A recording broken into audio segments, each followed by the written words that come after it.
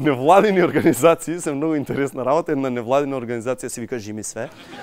Направи анкета за тоа што најмногу ги нервира луѓето. И излезе дека 99% од луѓето ги нервираат ТВ рекламите и да ви кажам со право, бидејќи многу глупости има во ТВ рекламите, многу многу глупости. На пример, во реклами за пасти за заби.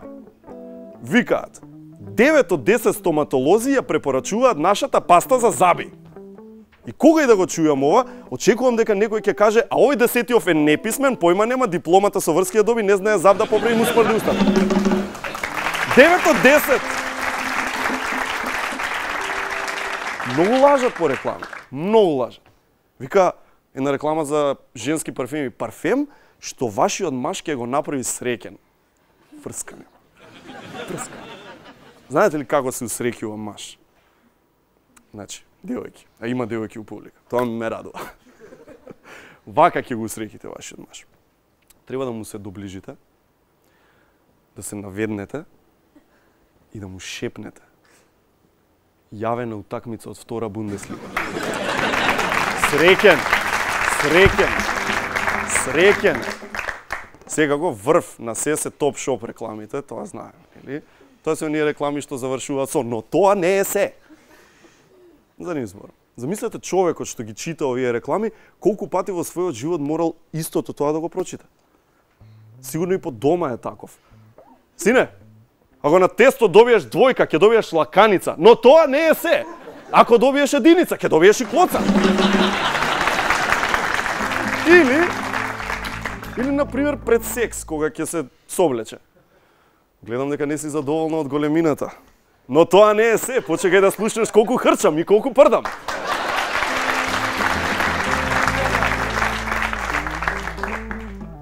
Што се смееш?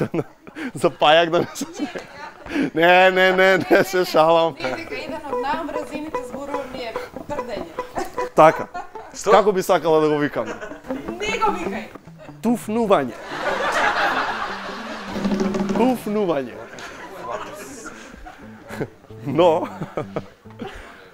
кога мал ги гледав ја овие реклами, ми, ја, ми се измисти цела перцепција за реалноста. Например, мислев дека така функционира светот и кога ќе отидев кај баба ми, например, и ќе ми речеше, еве ти внучко 100 денари за сладолет, очекува дека ќе ми рече, но тоа не е се. Ако во следните 10 минути ги измиеш садовите, баба ќе ти даде уште 500 денари.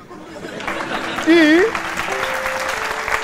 и шала страна ми ги зезнаат и тинејџерските години, не само на рано детство.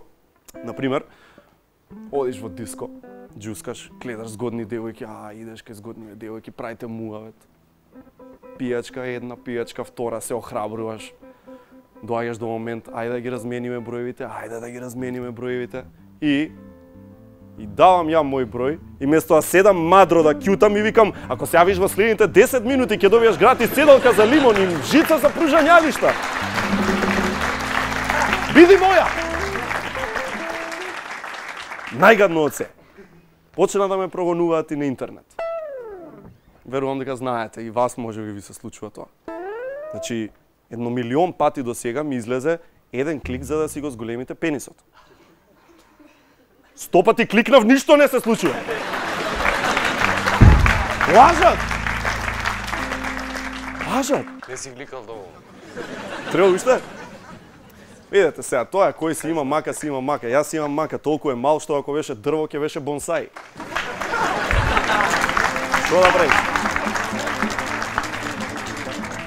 Една случка да ви кажам, купив еднаш кондоми на кој што пишуваше, чувствуваше, чувствуваше како да нема ништо.